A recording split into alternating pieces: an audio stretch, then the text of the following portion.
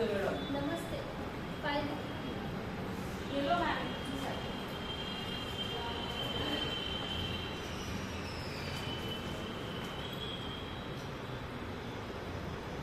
से है आपको ये बीमारी?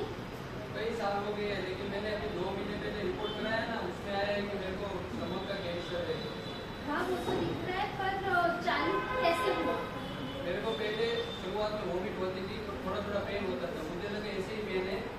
जब अभी दो महीने पहले रिपोर्ट कराया तो उसमें कैंसर आया वॉमिट में खून निकलता है मेरा वज़न भी काफ़ी बढ़ गया है।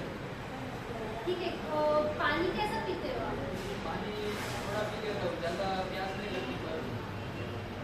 वज़न कितना कम हुआ? है दो महीने में दस किलो कम हो गया है। और ये क्या खा मतलब ज़्यादातर क्या खाना प्रेफर करते हैं? मैम ऐसे देखा जाए ना तो ये कुछ खा ही नहीं पाता तीखा तक तो आप दूर की बात है इनको आप नॉर्मली खिचड़ी भी बना के दो तो पहले जैसे एक थाली में खा लेते थे ना अब उसका वो आधे का आधा और जितना भी खाते हैं ना उनको थोड़ी देर में उल्टी हो जाती है उल्टी फुलती तो वो डर के मारे भी कुछ नहीं खा रहे हैं अच्छा अ, मैं आपको दवाई दूँगी देखो ये तो अभी आपने रिसेंटली रिपोर्ट करवाया तो अभी तो कोई रिपोर्ट की ज़रूरत नहीं है पर अगर रिपोर्ट की ज़रूरत है तो अपने यहाँ इधर लेबोरेटरी है जहाँ पे नॉमिनल पे रिपोर्ट्स हो जाते हैं।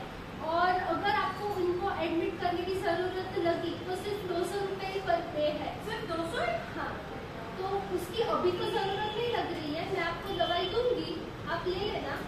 फिर आप मुझे पंद्रह दिन बाद बताना ये लो ये दवाई ये ये इतनी दवाई सी मैं इतने बड़े बड़े खाता हूँ फिर भी उससे कोई फ़र्क नहीं पड़ा तो इतनी दवाई से क्या फ़र्क पड़ेगा ये जो दवाई है भले दिखने में छोटी है पर इसमें जो प्रवाही डलता है वो आपके तासीर के अनुसार डलता है और इसके लिए आपको जल्दी से राहत मिलेगा देखो आपको कैंसर है।